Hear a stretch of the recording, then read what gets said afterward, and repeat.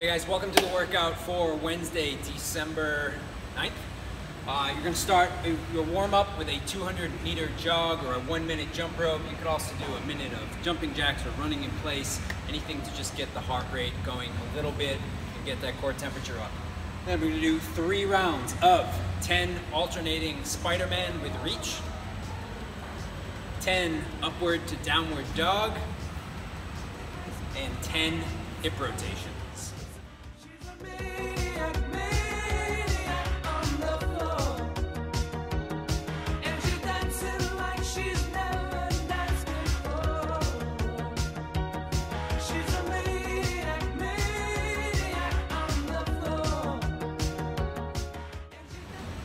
Then we're gonna do a short sprint conditioning piece. You're going to do three rounds of 20 burpees as fast as you can possibly do them. Light speed here, okay? With relatively decent form. You're gonna rest two minutes in between those sets. Okay?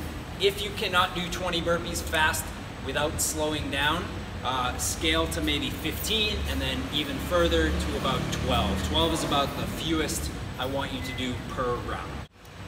For the WOD, you're gonna do three rounds of the following. You're gonna go on the minute. So, minute one, you're gonna do max effort air squats. As many air squats as you can do in one minute.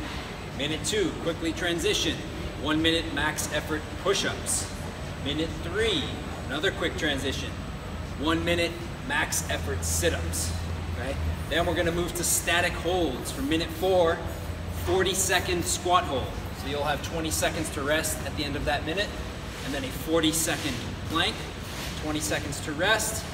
Minute six, 40 second hollow hold, if you can. This is a tough one. Accumulate as much time as you can in that first 40 seconds. Okay? And then minute seven, you're gonna take off and rest the full minute. So you'll have a minute 20 actually to rest there at the end. And then you go back to the beginning, and we'll do that two more times for a total of three rounds. So we're all body weight today. You don't need any equipment. Get yourself a yoga mat or a comfortable place to do these movements uh, and crush it.